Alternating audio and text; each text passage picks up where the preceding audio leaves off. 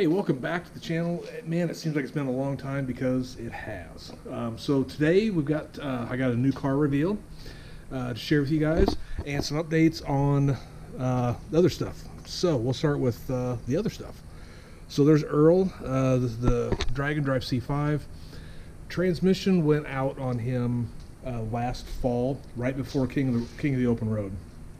I still went to the event.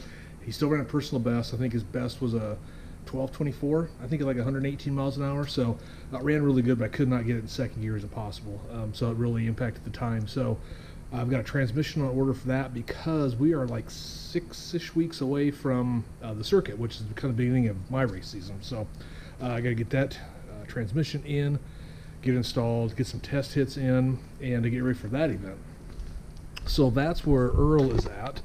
Uh, we've got the C8 Z06 it's uh, it's awesome. Got like you know 3,600 miles on it now. Oh my gosh, got smudge.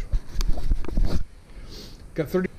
We got. I've had it about nine months or something like that. So what we'll do is we'll probably do a separate video on that, kind of give you a uh, a six month or nine month review update on that car. I do have uh, some parts for it that we'll be installing on that, so that'll be good to go. And then we have our uh, our C7 Black Rose Grand Sport up there on top. Uh, it recently has been tuned, uh, so we'll go out and we'll take that guy out at some point, do a video on him, and do the uh, do the quarter mile stuff and see how the uh, how the tune affected it. So, um, what little I drove it seems to uh, really woken it up. Obviously, throttle response is better, so uh, anxious to get it out and see how it does on the quarter mile. And now for the addition to the to the fleet. I introduce to you Brett the Maverick. Yes, so it's a Maverick uh, truck XLT EcoBoost turbocharged four cylinder, 250 horsepower, all wheel drive, um, black blackout package. Um, and actually, I just, I mean, I just brought this thing home. Um, so it's, uh, I got, I bought it up in Iowa. It has like 800 miles on it now uh, from bringing it back down, but uh, nice driving little truck. Um, I'm really anxious to get into it. Uh, it won't stay looking like this for long. Um, I got some lowering springs already on order, and we've got some other stuff that we're going to be doing to it along the way. So it'll be kind of a fun little build series with that. So, um, so I when I order new vehicles, I pretty much tell the dealerships not to touch them, not to do anything with them. So uh, this thing still has all the plastic on the seats. You see the plastic back there, plastic up on the visors. Um, so I got to go through, I still got the window sticker on there. There is uh, these other stickers that come from the factory so I can get all this junk off. So we'll be uh, we'll be cleaning this up. I need to I need to uh, also I'm going to remove remove this. Um, only chrome thing on the whole car is that. It's like it's going to drive me nuts. So uh, we'll be getting rid of that.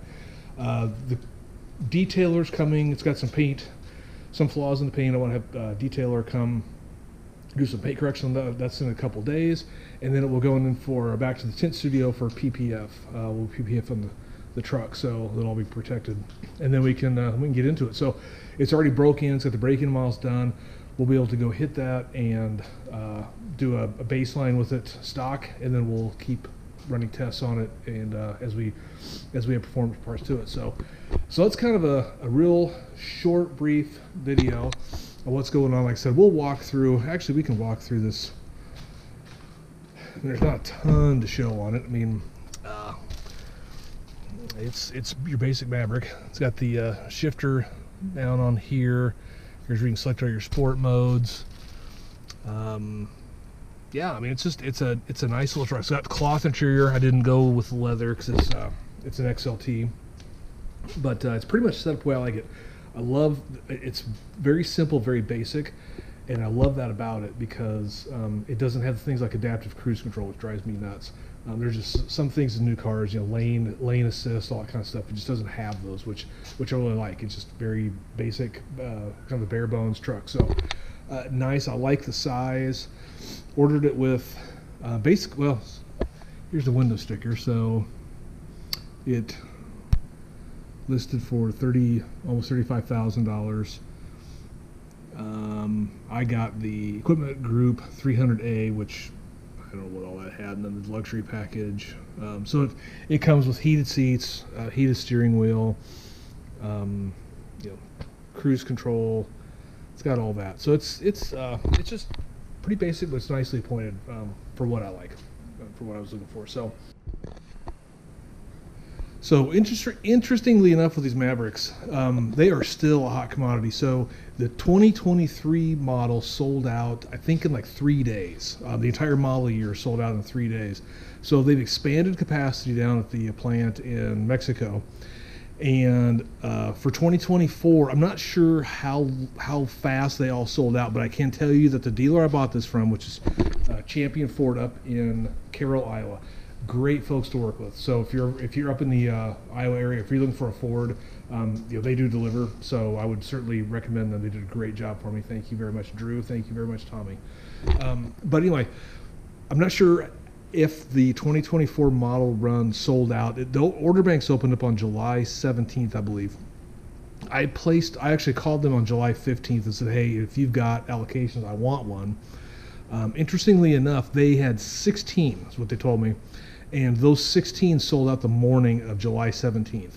Um, each and every one of them. So uh, thankful that I got one. Um, but it's kind of it's kind of surprising. So you'll see them out on dealership lots but uh, they're still they're still pretty hard to get, which is which is kind of interesting. But they are they are hot, um, and they're you know they're they're kind of cool. There, there's a lot of things you can do with them. Um, aftermarket intercoolers, turbos, intakes, exhaust.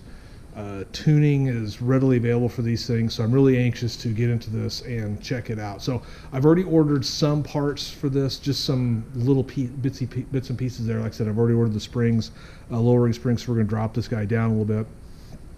And uh, yeah, so I'm looking forward to uh, to getting into that. We'll uh, we'll go through that once I get this thing all done uh, with paint protection. We'll get this thing on the road and start driving it and uh, give some impressions on that, do some performance testing, those types of things. So um, that's that's basically what we got. I got a messy garage I got to clean up, so we'll uh, probably work on that after I, after I close off on this video. But but yeah, we got a lot of stuff coming on uh, between the Maverick, uh, between Earl and race season. Uh, we got the Z06. I got some parts going to the Z06. Need to go out and test the C7. So lots of cool stuff coming up. Um, I'm going to get back on to uh, posting videos every every week is going to be my goal. So we'll uh, we'll go back on that. We got some good content coming up, so I'm looking forward to that. And uh, that's about all I got today. So uh, thanks for watching. Have a great day, and we'll talk to you next time.